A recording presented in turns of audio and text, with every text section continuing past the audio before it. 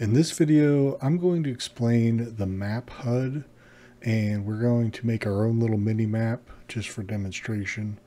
Uh, so you can see that I'm in a level right now. This is actually the Aztec uh, kit uh, test level. And uh, right now we don't have a mini map, so we're going to build one. If I press M, I do have a regular map, so you can kind of see uh, the map overlay here, you can see the character dots. All these little dots are characters. Uh, these green dots are objectives. Um, so I'll show you how all that works. Um, there's no real reason to explore the map right now, so I'm just going to exit the uh, level and I'm going to exit uh, this editor as well. And we're going to go straight into HUD 4, which is the map HUD. So this is what we saw when I pressed M in the uh, level. All right, so right away we have one large image in the background. This is mostly decorative. This doesn't actually have any settings uh, to speak of. It's not until you get into the center here. So this uh, image is not just decorative.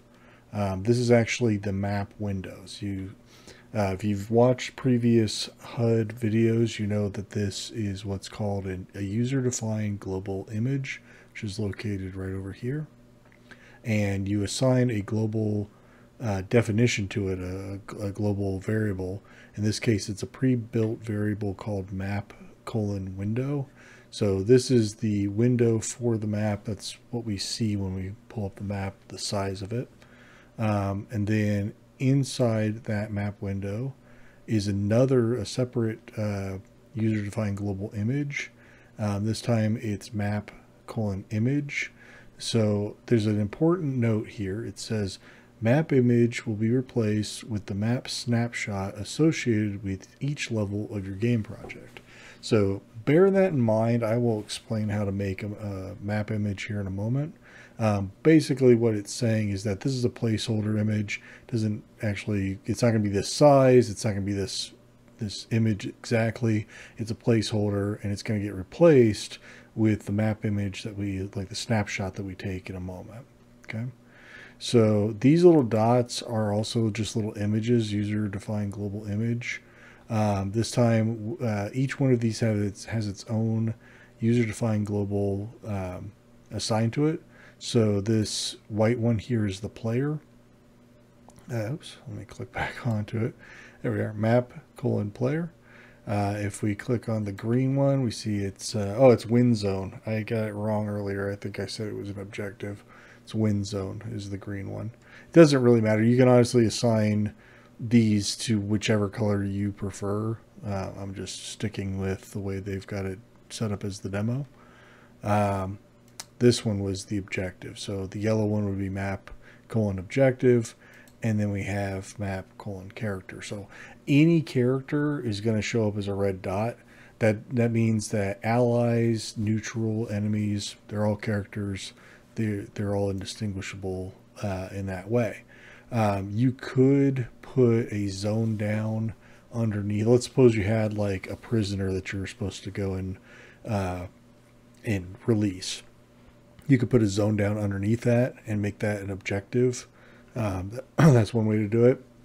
Um, but right now, there's not any distinction between characters. It is something that I've recommended, uh, but it's just not available today.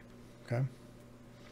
So that is as simple as it gets when it comes to making a HUD. It's really just a bunch of global images uh, assigned to global variables uh, that are all predefined. I mean, you can't really make it any simpler than that. Let's go make a mini map on uh, the game screen. So in-game HUD is right over here. We're just going to repeat these steps. So we're going to say, uh, we're going to use a global defined image. It doesn't really matter what image you choose. Um, I'm just, I think I'm going to stick with this and we'll put it right up here. Uh, I am going to make it a little bit bigger. So let's do Let's see what 200 looks like. That's not too bad. We'll go with that. Uh, we want to call this our map window. Remember, that's the size of the mini map. So maybe, eh, let's make it 150. I think it's a little big. That's pretty good. Mini map should be mini, right? There we go. So user defined global image map window. We're going to need another one. Uh, this one we will have to change. So I'm just going to dip into the image bank. Um, and I'm just going to use all the, the ones that they that come with uh, GameGuru Max. You can use whatever you like. Um, we need to shrink this down. So let's say 30%. Hmm, no, that's too small. 40. That's not that bad. That's not too bad. It doesn't really matter because it's going to fill the window, right? And then uh, this is going to be our map image. There we go. And we also need our little dots. So these are also user-defined global images. Yeah, be under HUD library towards the bottom. Are. So the first one, the white one, was the player. Again, you can make it whichever color you like. It really doesn't matter. It's not going to know the difference. So map player, let's just put that over. Can we move it? There we go. And just for tidiness sake, let's make that a little smaller. And we'll do this uh, a few more times. There we go. Now we have our mini map all set up here. So let's test it out. Make sure I didn't goof anything up. So I promised you earlier that I was going to show you how to make a uh, map image.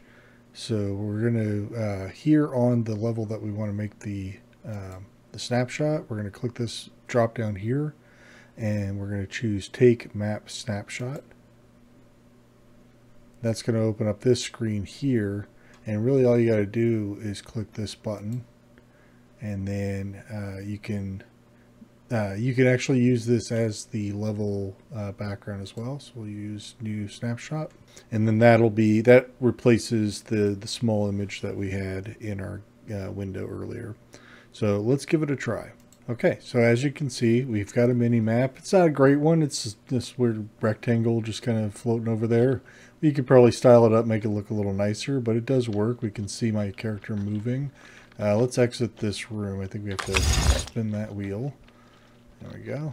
Spin that wheel. All right. And then uh, I'm just kind of looking around. I think if I approach those soldiers there in the distance, they're going to attack me. So I don't want to do that. Um, if I press M, you can see I've moved there as well. Here's the wind zone. We don't have any of the other zones on there, so we don't see those, but that's okay. Um, but that's it. These are really simple to make, uh, really quick and simple. So hopefully that's not too bad. If you enjoyed the video, uh, please be sure to click the like button below. If you're new here or if you just haven't subscribed yet, now's the time to do so. Go ahead and click the subscribe button uh, right next to that. And if you would like a notification anytime I release a new video, just click the bell icon. That's going to be your friend and notify you when new videos are released. Okay. And that's it. Thanks so much for watching all the way through, and I'll see you in the next one. Bye for now.